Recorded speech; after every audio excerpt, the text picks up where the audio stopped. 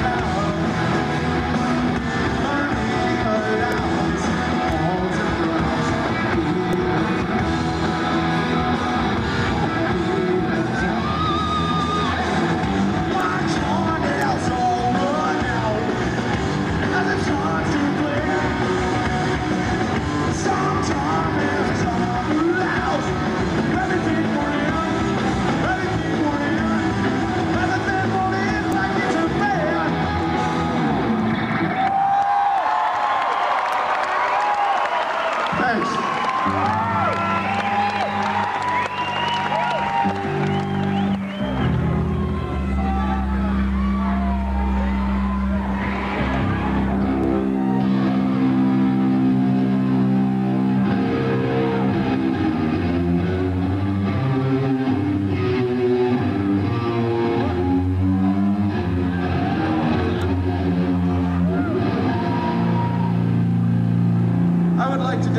this next song